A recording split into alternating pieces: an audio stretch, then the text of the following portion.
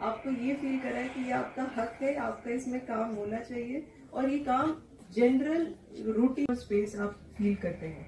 Women नहीं आएँगी आप नहीं ट्राई करेंगे ऐसे प्रोफेशंस में आने का। तो जो बदलाव है सोसाइटी में, वो एकदम से नहीं आएगा। वो एकदम से आप नहीं एक्सपेक्ट कर सकते कि अचानक से सब वुमेन सेंसिटिव हो जाएँगे। क्योंकि वुमेन का रिप्रेजेंटेशन होना इन जगह पे ज़रूरी है सेंसिटाइज होने के लिए। से सो आपको वो हर चीज़ प्रूव करनी पड़ती है। बेसिकली मेरिट पे पूरा होता है कि आप वो सब करते हो। लेकिन जब आप फ़ील्ड में फिर आते हो तो बहुत स्क्यूड आप देखते हो।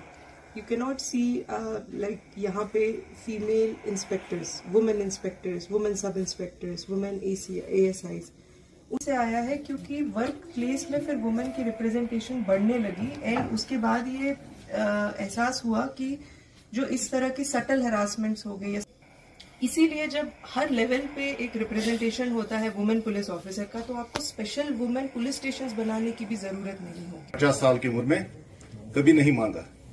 या कभी सरेंडर भी किया है अपना। वो जो शेयर उसको प्रॉपर्टी में मिलना था अपने पेरेंट्स से, वो उसने कब का सरेंडर भी किया है, लेकिन आज पता नहीं। या तो प्रॉपर्टी का वैल्यू बढ़ गया, या घर या आप इसमें रिश्तेदारी में कुछ ऐसे हालात बन पुलवामा की 17 इयर्स की लड़की कोचिंग सेंटर्स में पढ़ा दी in Aloha in Pi coaching centre in in Lyceum I serve as a teacher in a lord of institution तो उसके बाद आई थॉट कि किसी और ऑर्गेनाइजेशन या किसी और इंस्टीट्यूट को सर्व करने से जी जैसे कि आठ आठ मार्च है और ये हर साल इंटरनेशनल वुमेन डे मनाया जाता है आज आठ मार्च को क्योंकि हमारी सोसाइटी तो हम मान लें कि आज़ादी हमें मिले हुए सत्तर साल सत्तर साल हो चुके हैं लेकिन फिर भी बहुत सारी कोशिशें की गई हैं कि सोसाइटी को जेंडर इक्वल सोसाइटी बनाया जाए लेकिन अभी भी कुछ चीज़ों की ज़रूरत है कुछ डिस्क्रिमिनेशन औरतों को लेकर अभी तक हो रहा है फिर उसी को सेंसिटाइज करने के लिए उसी को